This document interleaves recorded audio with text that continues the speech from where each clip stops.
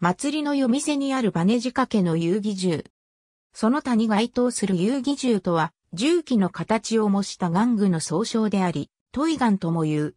遊戯銃に対し、本物の銃は新生銃や実銃などと呼ばれる。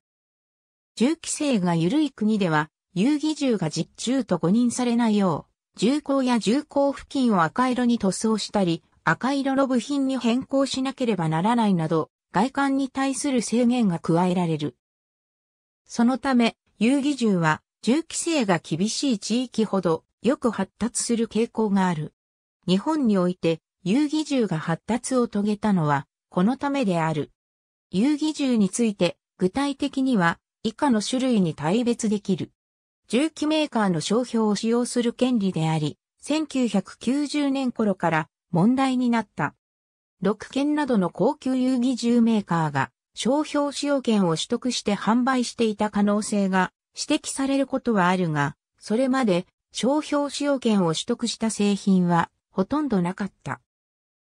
ベレッタ M93R を模した玩具銃を販売する業者に対して、不正競争防止法をもとにした差し止めに関する訴訟の判決では、模型の製作にあたっては成功かつ緻密に再現することが行われているとした上で、模型の形状や模型に付された表示が本物のそれと同一であったとしても、模型の当該形状や表示は模型としての性質上必然的に備えるべきものであって、これが商品としての模型自体の出所を表示するものでないことは、広く社会的に承認されているとし、原告の出所表示機能を害さないとして、訴えを退けた。商標の独占使用権を取得している遊戯銃メーカーが存在する場合、もしくは実銃メーカーが自社製品の遊戯銃を製作している場合は、正規品と区別するため、正式に商標使用権を取得する必要がある。実中メーカーからの商標使用許可の記載をしていない場合、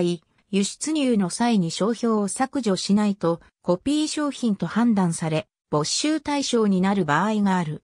また、国によっては、商標の独占使用権契約や実中メーカーによる遊戯銃製作が行われていなくても、コピー商品として扱う場合がある。遊戯銃、特にエアソフトガンを高威力に改造したものを使った器物損壊や傷害事件が発生したことがある。現在では改正銃刀法により一定以上の発射エネルギーを持つものは準空気銃に分類され所持が禁止された。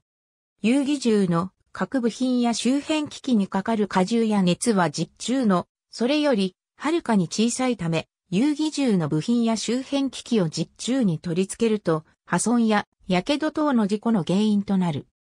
そのため、遊戯銃やその部品、周辺機器が銃規制が緩い地域に出回ることや、軍及び警察が訓練に使用することを想定し、それらの実銃への流用が不可能な構造にしたり、遊戯銃専用、訓練のみに使用せよ等の注意書きを明記したりといった対策が必要となる。前者に関し、東京丸い関係者は、実銃の外観や構造を再現しながら、実銃に取り付けられないように設計するのが大変と語っている。実銃との区別のために何らかの措置がなされていることが多い。全世界で1、2を争う規模の遊戯銃マーケットを持つと言われている。アメリカ合衆国とフランスを例にとると、アメリカでは銃口付近を赤く塗装するかその色の素材に変更することが定められており、フランスでは、現用のフランス軍及び警察の装備を禁じるという措置が取られている。銃刀法の規制のため日本では存在していないものとしては、欧米では広く普及している実銃同様の空砲を使用したブランクガンと呼ばれる金属製モデルガンがある。中には実銃メーカーが自社製品を模した精密なブランクガンも存在しているためコレクターも多い。また、日本では銃刀法上の実銃に分類される空気銃も海外には無資格で所持できる国があるため若年者によるプリンキングや射撃競技、狩猟に使用される。